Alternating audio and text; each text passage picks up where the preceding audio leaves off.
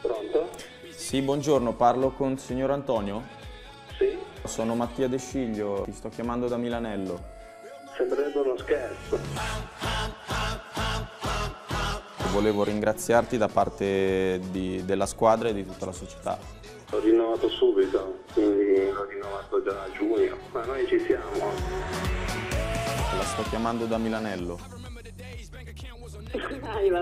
Continui a, a tifarci come hai sempre fatto. Voglia. Bravissima. Tu mi raccomando, gioca bene. Stavi dormendo, ti ho disturbato, scusa. No. Tutto bene?